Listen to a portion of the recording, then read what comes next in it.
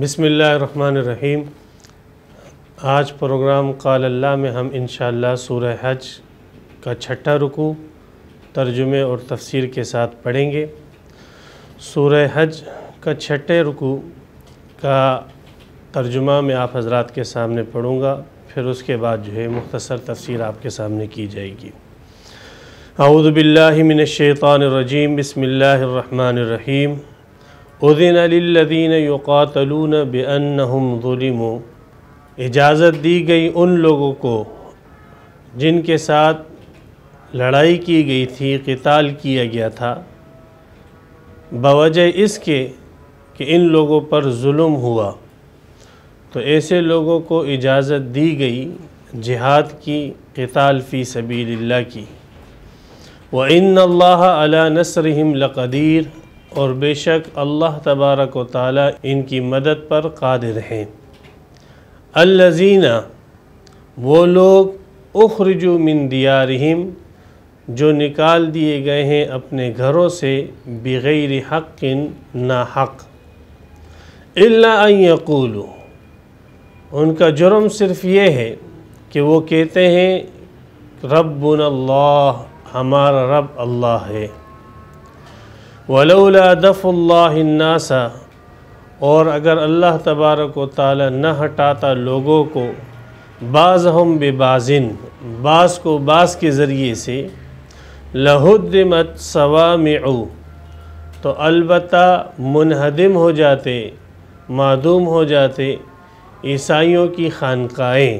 صوامع سومعہ کی جمع ہے، بمعنی خانقاہ جس میں عیسائی راہب اور عیسائی عبادت گزار رہا کرتے تھے۔ وبیع اور منہدم ہو جاتے عیسائیوں کے عبادت خانے۔ وصلوات، اور منہدم ہو جاتے یہودیوں کے عبادت خانے۔ ومساجد، اور منہدم ہو جاتی مسجدیں۔ یسکر فی حسم اللہ کثیرہ وہ مسجدیں جس میں اللہ کا نام لیا جاتا ہے کثرت کے ساتھ۔ وَلَيَنصُرَنَّ اللَّهُ مَنْ يَنصُرُهُ۔ اور البتہ اللہ تبارک و تعالی ضرور مدد کرتے ہیں اس کی کہ جو اللہ تعالیٰ کی مدد کرے یعنی اللہ کے دین کی مدد کرے۔ ان اللہ لقوی عزیز بے شک اللہ تبارک و تعالی قوت والے غالب ہیں۔ الذین وہ لوگ امکناہم فی الارضی اگر ہم انہیں تمکن دے دیں زمین پر اور انہیں حکومت دے دیں قدرت دے دیں مکنہ مکن یمکنو تمکین مانے حکومت اور سلطنت اور قدرت کا زمین پر ہونا۔ تو اللہ فرماتے ہیں، الذین امکناہم فی الارض، وہ لوگ اگر ہم انہیں زمین پر قدرت دے دیں اقام الصلاۃ تو وہ نماز ادا کرتے ہیں۔ وہ آت الزکاتہ اور زکوٰۃ دیتے ہیں۔ وہ امر و بالمعروفی اور نیکی کا حکم کرتے ہیں۔ وہ نہو ان المنکر، اور برائی سے روکتے ہیں۔ وَلِلَّهِ عَاقِبَةُ الْأُمُورِ، اور اللہ ہی کے لیے ہے تمام کاموں کا انجام۔ وہیں یکذبو کا اور اگر تجھے یہ جھٹلاتے ہیں اے مخاطب، اگر تجھے یہ لوگ جھٹلاتے ہیں، فقد کذبت قبلہم قوم نوح، تو تحقیق جھٹلایا ان سے پہلے نو علیہ السلام کی قوم نے وہ اور عاد نے وہ سمود اور سمود نے۔ وہ قوم ابراہیم اور ابراہیم علیہ السلام کی قوم نے وہ قوم لوت اور لوت علیہ السلام کی قوم نے جھٹلایا۔ واصحاب مدینہ اور مدین والوں نے اپنے نبی کو جھٹلایا، شعیب علیہ السلام کو جھٹلایا۔ وَقُذِّبَ موسیٰ اور موسیٰ علیہ السلام کی تکذیب کی گئی۔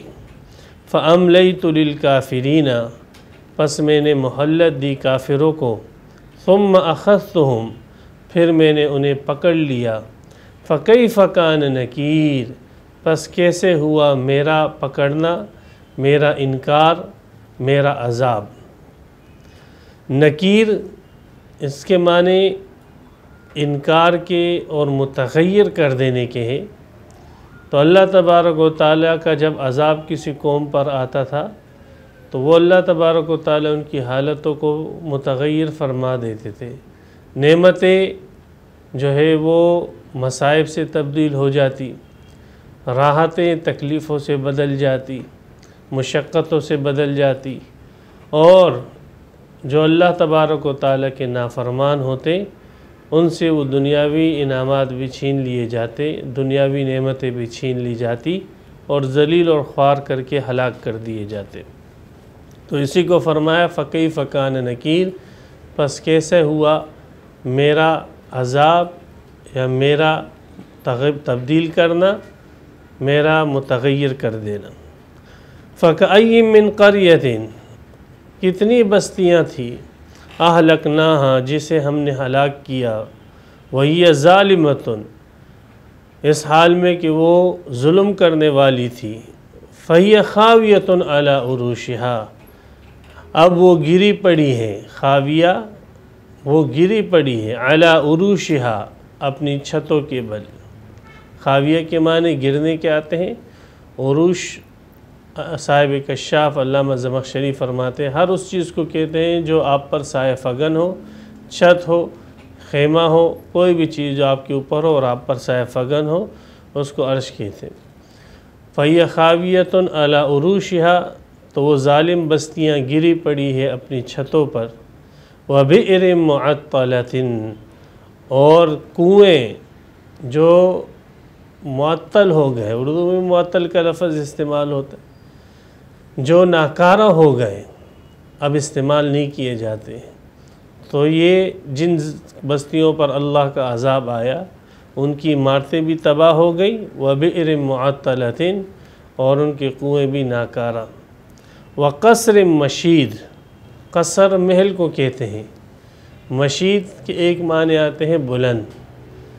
تو معنی یوں ہو جائے گا کہ جن بستیوں پر اللہ کا عذاب آیا ان کے کنویں معطل ہو گئے، ان کے کنویں بیکار پڑے رہے اور ان کے محلات جو اونچے محلات تھے، وہ بھی تباہ و برباد ہو گئے۔ دوسرا معنی مشید کے آتے ہیں کہ گچ لگایا ہوا اور ملمہ سازی کیا ہوا، رنگ و روغن کیا ہوا۔ تو قصر مشید معنی یہ ہو جائے گی کہ وہ محلات جس پر رنگ و روغن کیا گیا تھا جس کو چونے کے ساتھ مضبوط کیا گیا تھا، پختہ کیا گیا تھا، وہ سارے محلات بھی ان کے تباہ و برباد ہو گئے۔ اس لیے دو ترجمے ہیں اس کے کہ قصر مشید بلند محلات وہ بھی تباہ و برباد ہوئے۔ قصر مشید دوسرا ترجمہ وہ محلات جو کہ چونے کے ساتھ آراستہ کیے گئے تھے، وہ بھی تباہ و برباد ہو گئے۔ افلم یسیرو فی الارضی کیا وہ نہیں چلتے ہیں زمین پر؟ فتقون الحم قلوب پس ہو جائے ان کے لیے دل یا قلون بہا، کہ جس کے ساتھ وہ سمجھے۔ او آزان یا کان یسمعون بہا، جس کے ذریعے سے وہ سنیں فَإِنَّهَا لَا تَعْمَ الْأَبْصَارُ بے شک قصہ یہ ہے، شان یہ ہے، حقیقت یہ ہے کہ آنکھیں اندھی نہیں ہیں۔ وَلَكِنْ تَعْمَ الْقُلُوب، لیکن دل اندھے ہیں، الَّتِي فِي وہ دل جو کہ سینوں میں ہیں وَيَسْتَعْجِلُونَكَ بِالْعَذَابِ، اور تجھ سے جلتی مانگتے ہیں یہ عذاب۔ وَلَنْ يُخْلِفَ اللَّهُ وَعْدَهُ، اور اللہ ہرگز خلاف نہ کرے گا اپنے وعدے کا۔ وَإِنَّ يَوْمًا عِنْدَ رَبِّكَ، اور بے شک ایک دن تیرے رب کے یہاں الف صنعت مما تعدون۔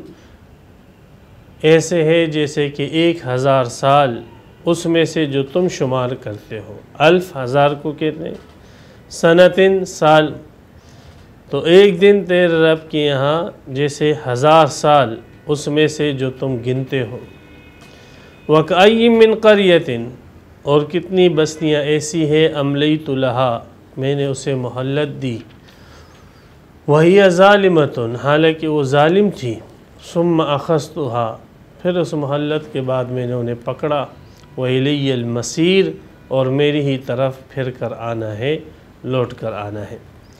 تو سامعین، یہ چھٹے رکوع کا ترجمہ میں نے آپ حضرات کے سامنے کیا ہے۔ اب اس کی تفسیر میں آپ حضرات کے سامنے بیان کرنا چاہتا ہوں۔ اذن للذین یقاتلون بانہم ظلموا پیچھے مختلف طبقات کا ذکر آیا تھا، انسانوں کی مختلف انواع کا ذکر آیا تھا، فکروں کے اعتبار سے انسانوں کی مختلف تقسیمات کا ذکر آیا تھا۔ لیکن اس میں اللہ تبارک و تعالی نے فرما دیا تھا کہ حادانی خسمانی کہ در حقیقت یہ دو جماعتیں ہیں، ایک اہل ایمان اور اہل حق کی جماعت اور دوسری اہل باطل کی جماعت۔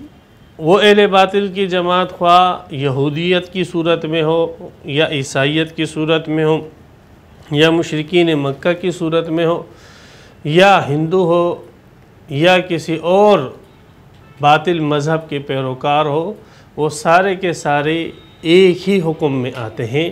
تو در حقیقت یہ جو بہت ساری جماعتیں ہیں، یہ دو ہی جماعتیں ہیں، ایک اہل حق کی، اہل ایمان، اہل اسلام کی۔ اور دوسری جماعت جو ہے وہ اہل کفر کی ہے۔ اب اہل ایمان والی جماعت اور اہل اسلام والی جماعت، موحدین کی جماعت جب اپنا، اپنی حکومت بنائے گی اور جب اللہ کی زمین پر اللہ کے قانون کو نافذ کرے گی، تو یہ مشرقین کبھی بھی اس بات کو گوارا نہیں کرے گی کہ اللہ کی زمین پر اللہ کا قانون ہو۔ اور وہ یہی چاہے گی کہ ہم اپنے بتوں کے قانون اور انسانوں کے قانون کو اللہ کی زمین پر نافذ کریں تو وہ ان معاہدین کے خلاف ہتھیار اٹھائے گے اور انہیں ختم کرنے کی کوشش کرے گے اور ایسا انہوں نے کیا، صحابہ کرام کے ساتھ کیا، پیغمبر علیہ السلام کے ساتھ کیا، دیگر ایمان والوں کے ساتھ انہوں نے کیا۔ تو دو قسم کی جنگ ہوگی ایک تو یہ کہ دلیل کی جنگ جس کا ذکر آج تک ابھی تک یہ پانچ رکوع کے اندر رہا کہ دلیل کے ساتھ آپ ان سے بات کرو اور اصل جنگ تو دلیل کی جنگ ہی ہوتی ہے۔ پھر اگر اس کے باوجود یہ تم پر ظلم کرتے ہیں اور تمہیں بے دین کرنے کی کوشش کرتے ہیں، تو تمہیں اللہ تعالیٰ اس بات کی اجازت دیتا ہے کہ تم ان ظالموں کے خلاف اسلحہ اٹھاؤ اور ان ظالموں کے خلاف جہاد فی سبیل اللہ کرو۔ اور جب یہ تمہارے ساتھ لڑتے ہیں تو تم ان کے ساتھ لڑو۔ تو اسی آیت کے اندر ان کو اجازت دی گئی ہے، موحدین کو اہل توحید کو، کہ اگر کفار تمہارے دین کو تبدیل کرنا چاہتے ہیں اور تمہارے اسلام کو تم سے چھیننا چاہتے ہیں، تو تمہیں اس بات کی اجازت ہے کہ تم ان کے خلاف اسلحہ اٹھا سکتے ہو۔ فرمایا عزین للذین یقاتلون۔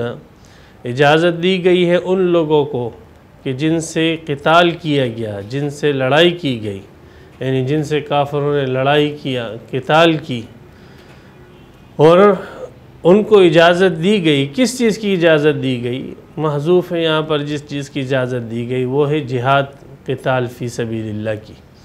تو اجازت دی گئی ہے ان لوگوں کو کہ جن کے ساتھ کافروں نے جنگ کی ہے، ان کو اجازت دی گئی ہے قتال فی سبیل اللہ کی۔ اور یہ اجازت کیوں دی گئی بے انہم ظلم یہ علت ہے اس کی۔ بسبب اس کے کہ ان لوگوں پر ظلم ہوا ہے۔ ان کو جو اہل ایمان کو اور اہل توحید کو اجازت دی گئی ہے جہاد کی، اس کا سبب کیا ہے؟ بے انہم ظلم کہ تمہیں جہاد کی اجازت اور قتال کی اجازت اس لیے دی گئی ہے کہ تم پر ظلم ہوا ہے۔ اہل ایمان، اہل توحید پر ظلم ہوا ہے۔ یہ علت ہے، یہ سبب ہے اس بات کی کہ تمہیں جہاد کی اور قتال فی سبیل اللہ کی اجازت ملی ہے۔ ظلم ایک تو ہمارے معاشرے کے اندر ظلم ہے۔ ظلم اس سے سمجھا جاتا ہے کہ کوئی کسی کا حق لے لے، کوئی کسی کو گھر سے نکال لے، کوئی کسی سے کوئی چیز چھین لے۔ ایک معاشرتی ظلم ہے۔ اور دوسرا ظلم یہ ہے کہ کوئی کسی کے دین کو اور اس کی توحید کو اور اس کے ایمان کو اس سے چھیننے کی کوشش کرے۔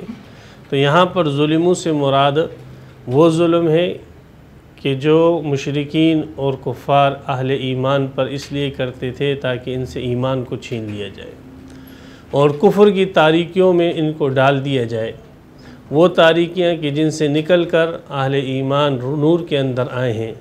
اللہ تعالیٰ فرماتے ہیں کہ اللہ دوست ہے ایمان والوں کا۔ یخرجہم من الظلمات الى النور۔ اور اللہ تعالیٰ ایمان والوں کو اندھیریوں سے روشنی کی طرف، ظلمات سے نور کی طرف نکالتا ہے۔ اور یہی کام پیغمبر علیہ السلاۃ والسلام کا ہے، جیسے سورہ طلاق میں۔ تو اب یہ دوبارہ ان اندھیریوں کی طرف انہیں پھیرنا چاہتے ہیں۔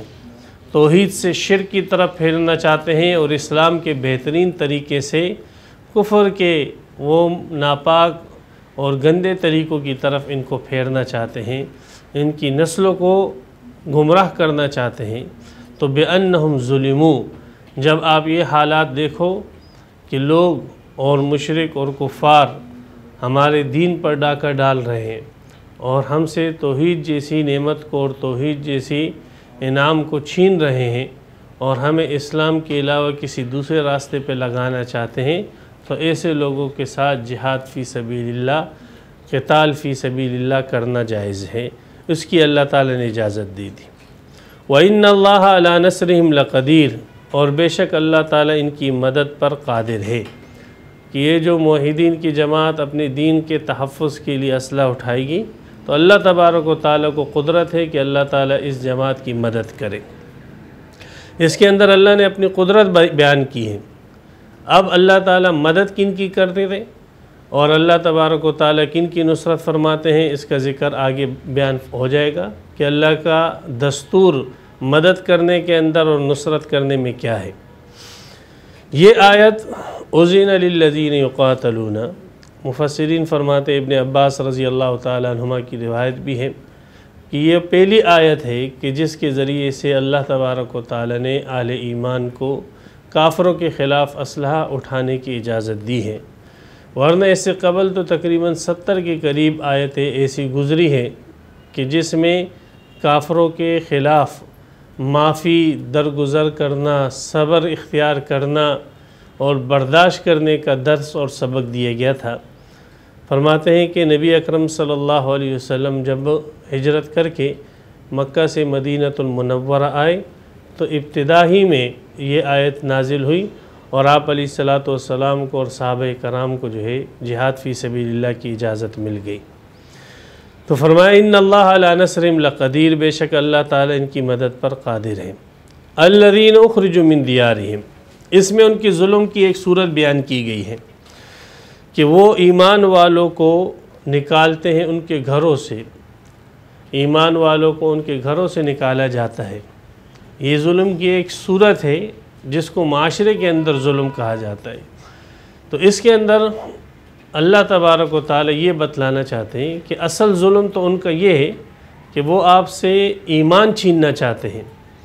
لیکن جب آپ اپنا یہ مدعا اور اپنا یہ کیس بین الاقوامی طور پر پیش کرو گے تو اس کے اندر پھر آپ ریزن اور سبب یہ پیش نہ کرنا کہ یہ ہم سے ہمارے دین اور اسلام کو چھیننا چاہتے ہیں۔ اس لیے کہ آپ کے دین اور اسلام کے تو سب مخالف ہیں۔ جب آپ اس کو انٹرنیشنل لیول پر اگر آپ پر ظلم ہو رہا ہو، تو آپ جب بین الاقوامی لیول پر جو ہے اپنے آپ کو پیش کرو، تو ان کے ایسے مظالم پیش کرنا اور ایسی چیزوں کو پیش کرنا جس کو دیگر فریق بھی ظلم تسلیم کرتے ہو جیسے من جملہ، گھروں سے نکال دینا۔ یہ ایک ایسی بات ہے کہ جس کو ہر فریق خواہ وہ چین کا رہنے والا ہو، خواہ وہ کمیونسٹ ہو، خواہ وہ ہندو ہو، خواہ وہ یہودی ہو، عیسائی ہو، کسی بھی مذہب کا پیروکار ہو، وہ اس کو ظلم سمجھتا ہے۔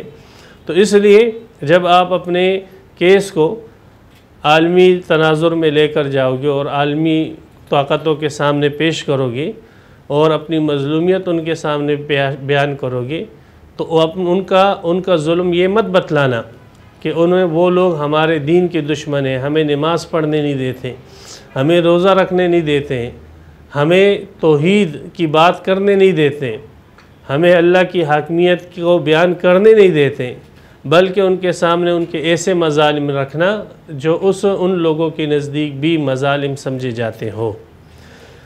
بغیر حق جو نکالے گئے ہیں اپنے گھروں سے نہ حق اس قسم کی باتیں آپ بین الاقوامی طور پر پیش کرنا۔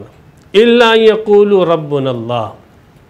حقیقتاً تو ان کی دشمنی اور ان کا بغض اور ان کا عناد اور ان کا آپ کے ساتھ لڑنا وہ صرف اور صرف اس وجہ سے ہے کہ اہل توحید وہ یہی کہتے ہیں کہ ہمارا پالنہار، ہمارا رب، ہمارا مالک ہمارا مختار کل، ہمارا مشکل کشا، ہمارا حاجت روا، ہمارا معبود، ہمارا رب صرف اور صرف ایک اللہ ہے۔ ان کی دشمنی آپ سے اسی بنیاد پر ہے۔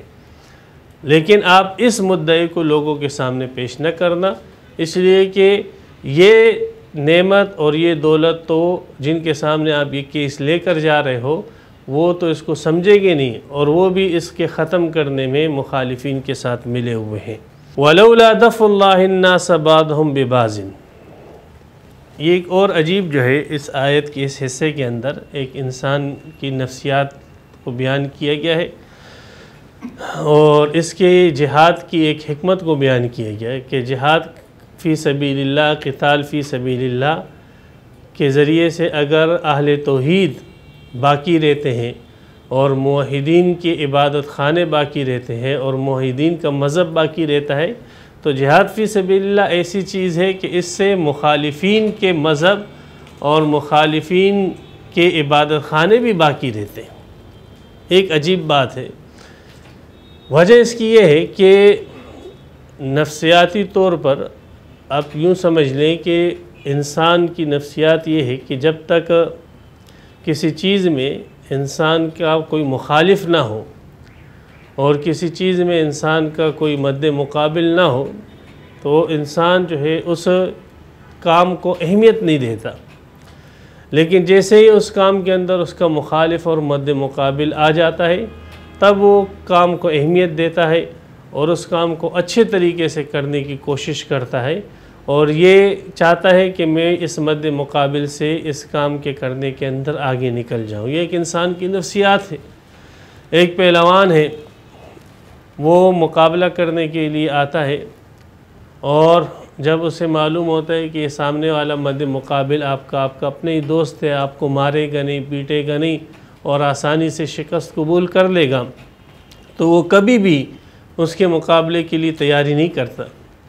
اس لیے کہ اس کا یہ ذہن بنا ہے کہ یہ میرا مقابل ہے ہی نہیں ہے تو اور یہ آسانی سے ہار کو تسلیم کر لے گا۔ لیکن اگر اسے یہ بتلایا جائے کہ جو مد مقابل آپ کا آ رہا ہے، وہ آپ کا دشمن ہے اور آپ کو ذلیل کرنا چاہتا ہے اور آپ کو جو ہے ہرانا چاہتا ہے، تو یہ ہر قسم کے داؤ پیش سیکھے گا اور ہر قسم کی مشقتیں برداشت کرے گا۔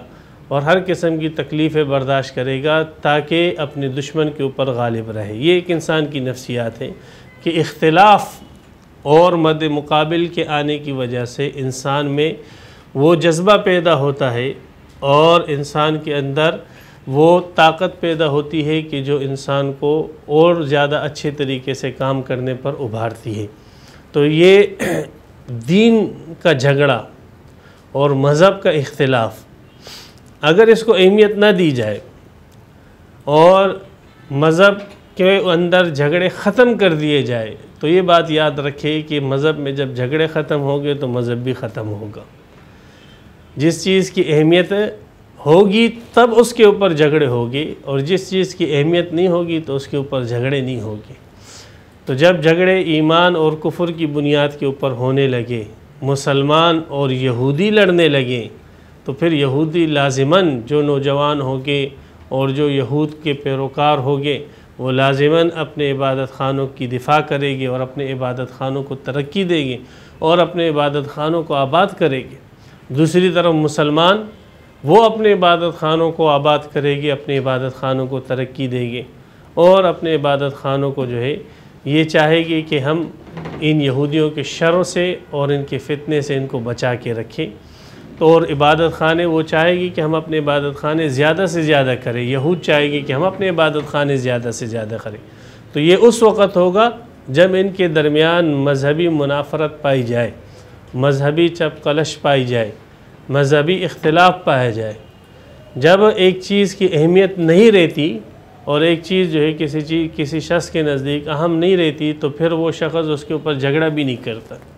یہی تو وجہ ہے کہ یورپ کے اندر اور اسی طرح جو انگلش ممالک ہے ان کے اندر، چونکہ مذہب کی ان کے نزدیک اہمیت نہیں رہی، مذہبی جھگڑے نہیں رہے، مذہبی اختلافات ان کے درمیان نہیں رہے، تو انہوں نے مذہبی، مذہب ہی سے بالکل کنارہ کش ہو گئے اور مذہب کی ان کے ہاں کوئی اہمیت نہیں رہی۔ وہ لوگ جو عیسائی ہیں، وہاں کے اور جو لوگ وہاں کے یہودی ہیں اور جو مذہبی اختلافات سے کنارہ کش ہو چکے ہیں، اب ان کی صورت یہ ہے کہ وہ آپ کو ہندوؤں کے ساتھ بھی نظر آئے گے۔ عیسائی اور یہودی جو کبھی ایک جگہ بیٹھتے نہیں تھے وہ ایک پلیٹ میں کھانا کھاتے آپ کو نظر آئے گے۔ وہ آپ کو دیگر اقوام کے ساتھ مل کر اور دیگر اقوام کے ساتھ بیٹھ کر جو ہے نظر آئے گی وجہ اس کی یہ ہے کہ مذہب کی ان کے ہاں کوئی اہمیت اور کوئی ضرورت نہیں رہی۔ جب مذہب کی ان کے ہاں کوئی ضرورت نہیں رہی تو ان کے عبادت خانے بھی خالی ہونے لگے۔ ان کے ہاں چرچوں کا حال آپ جا کر دیکھیں۔ پورے ہفتے میں صرف ایک دن ان کی عبادت کا اور وہ بھی کچھ گھنٹے ہوتا ہے، لیکن ان کے چرچ خالی ہیں۔ بہت سارے چرچ تو ایسے ہیں کہ جن میں لالچ دے کر، پیسے دے کر لوگوں کو بلایا جاتا ہے، لیکن پھر بھی لوگ نہیں آتے۔ صرف اور صرف چرچ اس کام کے لیے رہ چکا ہے کہ وہاں پر شادی کی ایک تقریب کی جائے۔ یا کوئی آدمی مر جائے تو اس کی جنازے کی تقریب کی جائے اور سارے کے سارے کاموں کے اندر سے چرچ کو بے دخل کر دیا گیا۔ وجہ کیا ہوئی؟ وجہ یہی ہے کہ ان کے درمیان سے مذہبی منافرت ختم ہو گئی۔ تو مذہب کے اندر جھگڑا مطلوب ہے۔ بعض لوگ جو ایسے ہیں، صلاح جو قسم کے لوگ ہیں، وہ یہ چاہتے ہیں کہ بھئی مذہبی اختلاف نہ ہو بھئی مذہبی اختلاف نہیں ہوگا تو مذہب بھی نہیں ہوگا، یاد رکھیں۔ اس مسئلے میں لوگ افراد تفرید میں مبتلا ہیں۔ مذہبی اختلاف مطلوب ہے۔ مذہبی جھگڑے مطلوب ہے تکمیناً مطلوب ہے اور اگر یہ اختلاف ہوگے، جھگڑے ہوگے، تو ان مذہبوں کا بقا ہوگا۔ لیکن جھگڑوں ہونے کا یہ مطلب نہیں کہ کوئی اتفاق کی صورت بھی نہ ہو۔ اتفاقی مسائل کے اندر آپ ان کے ساتھ اتفاق کر لیں، مخالف کے ساتھ آپ اتفاق کر لیں۔ لیکن اتفاق کے اندر پھر اتنا آپ آگے نہ جائیں کہ اپنے مذہب کو بھی چھوڑ دیں۔ مثال کے طور پہ کوئی سنی جو ہے، کسی شیعہ کے ساتھ اس مسئلے میں اتفاق کر لیتا ہے کہ بھئی جیسے ہمارے مذہب کے اندر قبروں کو سجدہ کرنا ناجائز ہے، آپ کے مذہب میں بھی قبروں کو سجدہ ناجائز ہے۔ ہمارے مذہب کے اندر اپنے ملک کا دفاع جو ہے ضروری ہے۔ اور ان کو بیرونی سازشوں سے بچانا ہے۔ آپ کے مذہب کے اندر بھی یہ چیزیں۔ تو ایسے اتفاقیات بہت سارے مل جائے گی اس کے اوپر سنی شیعہ مل کر متفق ہو جائیں۔ لیکن اب اگر وہ اتفاق اس حد تک پہنچ جائے کہ سنی جو ہے اپنا مذہب چھوڑ دے اور شیعہ کے ساتھ ماتم کرنے لگے، تو یاد رکھے کہ ایسا اتفاق شریعت کے اندر جو ہے اس کی اجازت نہیں ہے۔ اتفاق صرف ان باتوں کے اندر ہو سکتا ہے کہ جو دونوں فریقین کے نزدیک مسلم ہو ایسا اتفاق جو کسی فریق کو اس کے مسلک اور مذہب سے ہٹا دے، ایسا اتفاق جو ہے معتبر نہیں۔ تو اختلاف کیا جائے اور یہ اختلاف جو ہے ان مذاہب کی بقا کا ذریعہ رہے گا۔ لیکن یاد رکھیں کہ اختلاف کے ہونا یہ اس بات کو مستلزم نہیں ہے کہ اتفاق بھی نہ ہو۔ اتفاق ہوا ہے نبی اکرم صلی اللہ علیہ وسلم کا۔ یہودیوں کے ساتھ اختلاف تھا۔ آپ علیہ السلام کی جنگیں رہی یہودیوں کے ساتھ۔ لیکن مدینہ اور یہودیوں کی ریاستوں کی حفاظت کے سلسلے میں آپ علیہ السلام نے ان کے ساتھ اتفاق کیا۔ اس نقطے پر اتفاق کیا کہ کوئی بھی بیرونی طاقت اگر ہم پر حملہ کرے گی تو آپ ہماری طرف سے دفاع کرنا۔ اور کوئی اگر آپ پر حملہ کرے گی تو ہم آپ کے ساتھ مل کر دفاع کریں گے۔ ان نکات پر اتفاق ہوا۔ مشرقین مکہ جو آپ علیہ السلاۃ والسلام کے خون کے پیاسے تھے، صلح حدیبیہ کے موقع پر ان کے ساتھ جو ہے چند نکات کے اوپر اور چند باتوں پر اتفاقات ہوئے۔ تو جو اتفاقات ہیں، اتفاقی بات ہیں، ان کے اوپر آپ مخالف مذہب کے ساتھ اتفاق کریں، لیکن جو اختلافی بات ہے اس میں لازماً اختلاف رکھیں۔ اور اس اختلاف کو آپ چھوڑیں نہیں۔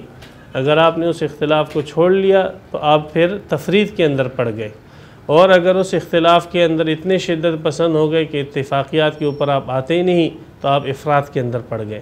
تو اعتدال کی راہ جو ہے، وہ درمیانی راستہ ہے۔ کہ آپ اختلافات کو بھی اپنی جگہ رکھیں اور اتفاقات کو بھی اپنی جگہ رکھیں۔ تو اختلاف بری چیز نہیں ہے۔ اختلاف ایک ایسی چیز ہے جو انسان کے اندر چھپے ہوئے صلاحیتوں کو بروئے کار لاتی ہے۔ مثال کے طور پہ دو دکاندار ہو۔